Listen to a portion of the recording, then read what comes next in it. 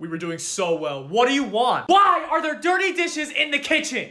I don't know, I wasn't in the- Well, you need to go clean them right now! But I didn't cause that mess in the kitchen! My little brother did! Oh, really? I'll get him now. Little Jimmy? Yes, mother? Did you cause that mess in the kitchen?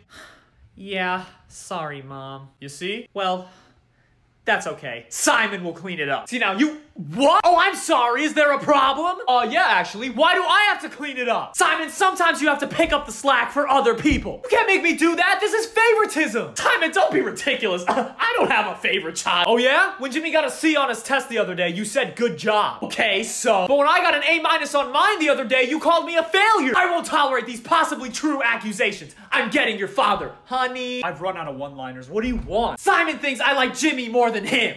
Yeah, because you do. Huh? For Christmas, you gave Simon a singular sock, but for Jimmy, you got him a new iPhone. He needs it! He's nine!